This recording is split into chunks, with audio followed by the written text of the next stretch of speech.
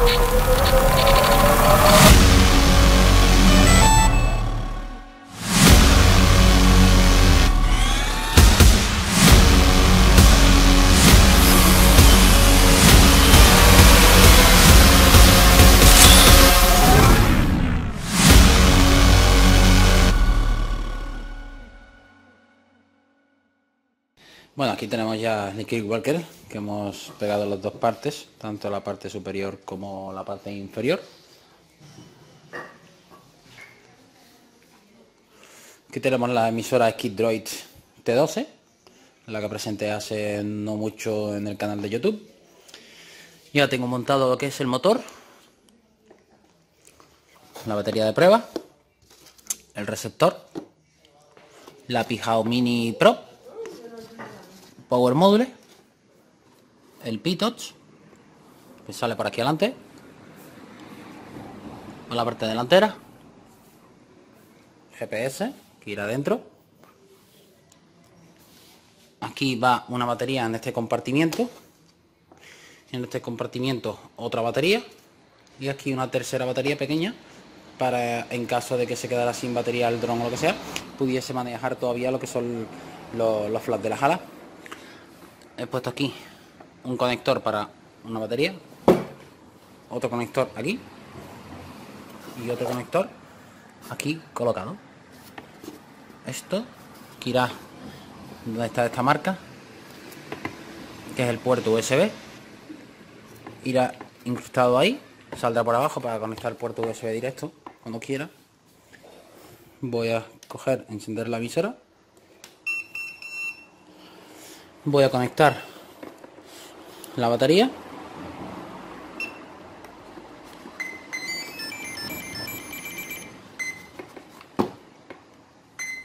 Vale. Ahí vemos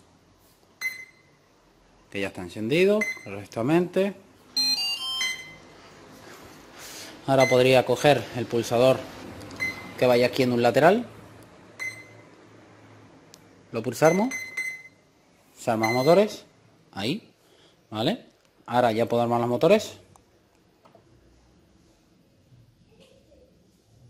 Esperamos un poquito.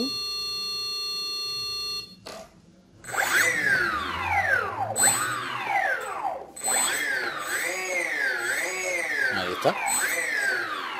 Y la hélice que la tengo por aquí os la voy a enseñar. Esta es la hélice que la voy a poner. Que iría aquí ¿vale? Lógicamente hace falta hacer un tope aquí, aquí atrás, para que no se recoja nunca hacia atrás la hélice completa, ¿vale? Que no haga esto. Aunque aquí no toca el corcho, pero bueno, voy a hacer que para que se queden rectas, ¿vale? Y que solo se recojan abatidas hacia, hacia adelante, así como estoy ahora mismo, ¿vale? Entonces, está armado correctamente, todo funciona y está configurado correctamente ya. Y bueno, desde el móvil con el cable OTG tendremos toda la información a través del cable de telemetría que tenemos puesto por aquí.